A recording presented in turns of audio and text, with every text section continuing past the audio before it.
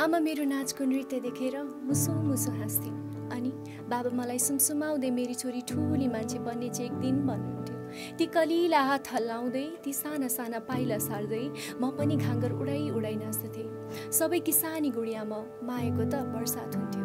खेल्दा खेल्दै झुकिएर लडे भने सबैजना हात्तिएर मेरो घाउ हेर्नुहुन्थ्यो कमी भनेको के हो अर्थ थाहा थिएन।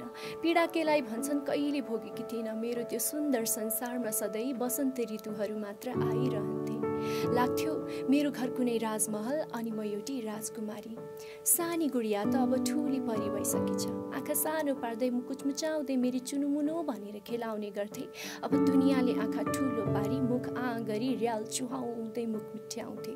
एक दिन अचानक मेरो बाटोमा डरलाग्दो घिनलाग्दो राक्षस आइपुग्यो। म अत्तालिएँ। छन् अत्तालिन्थे छन् अत्याउँथ्यो जति चिच्याउँथे त्यति घाँटी च्याप्थ्यो। मेरा हात पाउ कामिरहेका थिए।